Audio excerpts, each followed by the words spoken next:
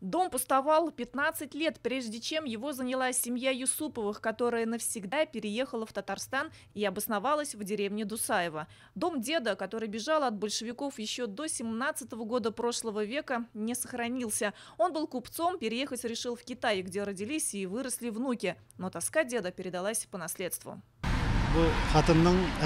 В России, в Татарстане, в Мадышском районе нас встретили радушно.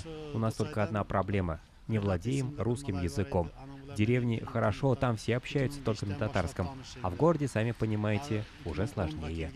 Отлично владеющие татарским Флёра и Ришат Юсуповы приняли решение, которое перевернуло их жизнь. Вместе с ними в Татарстан переехали дочери, которые подарили родителям долгожданных внуков. Родился второй внук. Пришлось переехать в Казань, чтобы помогать детям. Но Мамадыш и Дусаева мы не забываем. Душа все равно просится в деревню. Мамадыш для нас как родина. Теперь в старенький дом в Дусаеве ездят на лето и по выходным. Алсох Медянова, Лилия Латфулина, Алексей Петров. Новости Татарстана.